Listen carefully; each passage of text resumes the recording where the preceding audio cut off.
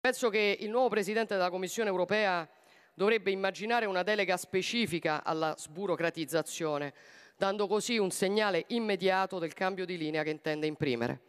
Contestualmente è necessario elaborare, elaborare una strategia che protegga le aziende europee dalla concorrenza sleale,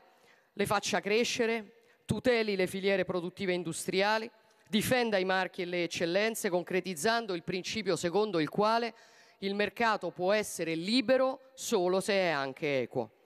Molto dell'approccio